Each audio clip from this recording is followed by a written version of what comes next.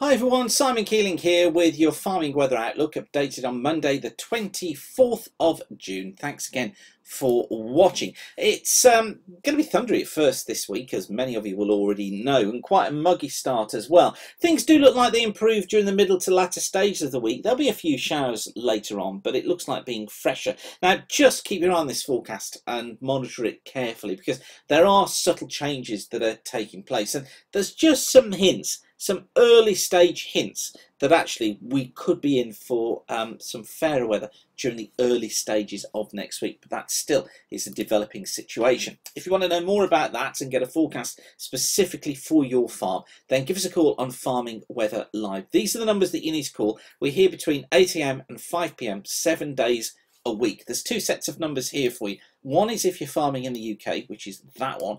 The other one is if you're farming in Ireland, which is that one. Um, so you can give us a call on either number um, and uh, we can give you a forecast specifically for your farm. If you tell us when you phone, tell us uh, your postcode and also what you're looking to do and what forecast you're looking for, i.e., you know, I want a forecast for the next couple of days or a forecast for the next couple of weeks, please do let us know. It makes the call go quicker and we can forecast for you from a few hours to several days to several weeks ahead. Always great to speak to you. Of course, you can get the seasonal forecast and our latest thoughts constantly updated through the day here at WeatherWeb Premium. We've got daily videos, we've got our seasonal outlooks, we've got our expert forecasts, and you can get a free three-day trial. So just go to join now, sign up, and you can get a free trial, fill your boots with the forecasts, see if it's for you. But uh, we've got loads of farmers who are using that service, thousands of farmers in fact, and uh, they find it incredibly useful. So uh, thanks for your continued support. So there's the forecast then for this afternoon. Um, murky, thundery, through this afternoon, particularly Scotland, Northern England and Ireland.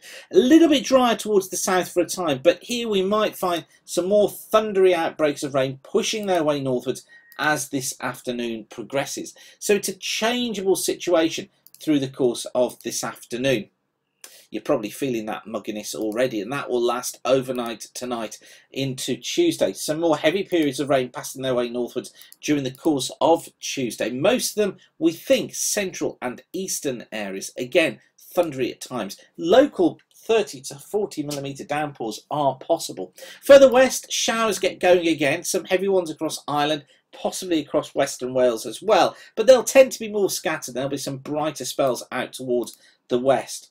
Still quite a muggy feel to things, particularly in the southeast. We could be looking at 30 degrees here. But across uh, northern and western areas, a little bit cooler, 21 degrees, although 23 in Ireland. On to Wednesday. Things starting to improve Wednesday. Ridge of high pressure is going to be building in on Wednesday, and that brings the promise of better conditions. I think drier overall, but across the far south of England, cloud here, some drizzle, some outbreaks of rain possibly moving in. Still muggy here at 23 degrees. Elsewhere, drier, probably fresher as well. 19 degrees in western Scotland, 22 degrees across Ireland where it's also dry, 21 degrees across the rest of England and Wales.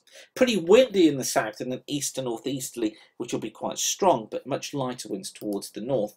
Now on Thursday, fronts are across the south again on Thursday. Strong easterly winds through Thursday across southern areas. And we might find some thundery outbreaks of rain into southern parts of Ireland, possibly into southwest England as well. I'm thinking this is probably more drizzly than anything else.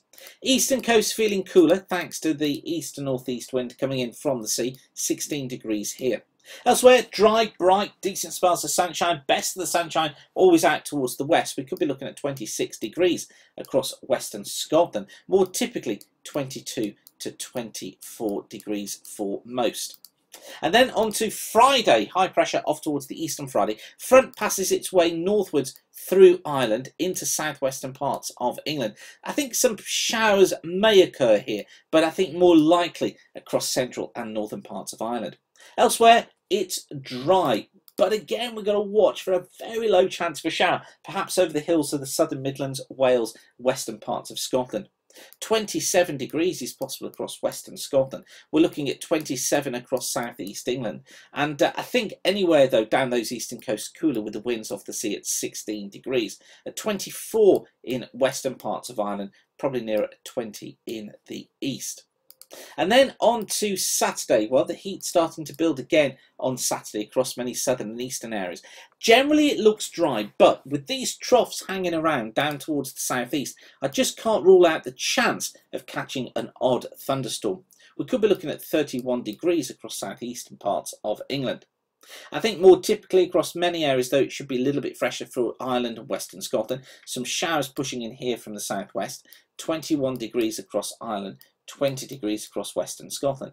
Elsewhere, generally dry and temperatures typically between about 20 and 24 degrees. And then headed in towards Sunday. Um, this chart showing lower pressure up towards the north. I think it will be, but I'm not sure that it'll be quite as dramatic as this chart is trying to show. I think we'll find showers, most of them towards the north and the west. Fairly scattered across western England and Wales, but heavier across Ireland and across western parts of Scotland. Drier towards the south and towards the east, and a fresher feeling day for everyone. 23 degrees in southern England, probably looking at around 14 in western Scotland, with quite a strong westerly breeze blowing.